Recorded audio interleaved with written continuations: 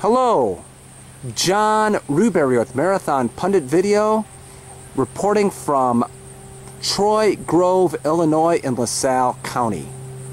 We are at the Wild Bill Hickok State Memorial. Wild Bill Hickok, as with another famous Westerner, Wyatt Earp was born in Northern Illinois. And I'm going to read the marker here.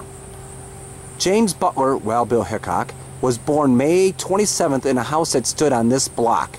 His parents, William A. and Polly Butler Hickok, settled in Troy Grove, then called Homer, in 1836 after living for a time at Tonica, then called Bailey's Point. Here, William operated a store until it failed when he moved his growing family to a farm north of town. On William's death in 1852, the family moved back into Troy Grove. Young James worked to support the family until about 1856 when he left Troy Grove for Kansas Territory and set out on the path that would bring him fame. William Hickok supported anti slavery efforts, and his homes were said to have served as stops on the Underground Railroad that aided African Americans fleeing from bondage. That is one heck of a resemblance of Wild Bill Hickok. Again, we're just steps from his birthplace, or birth site, I should say. And in addition to his fame out west as a scout, Wild Bill was also a scout for the Union, tying into his father's um, service um, with the Underground Railroad uh, during the Civil War. Next stop, LaSalle.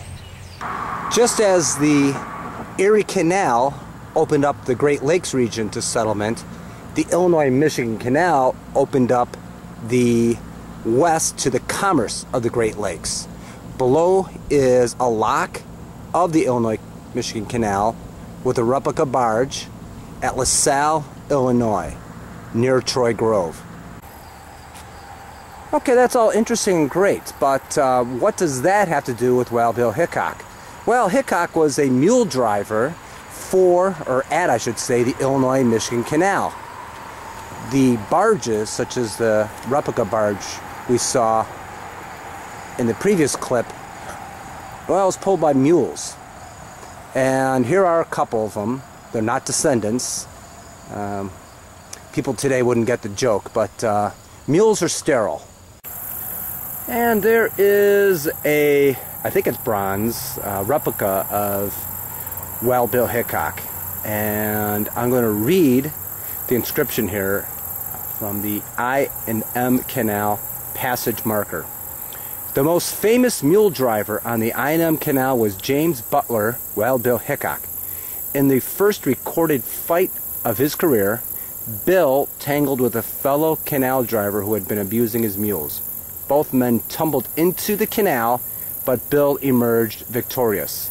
Bill eventually headed west, where he gained fame as a lawman and a gunslinger. At the age of 39, he was shot in the back while playing cards in Deadwood, South Dakota.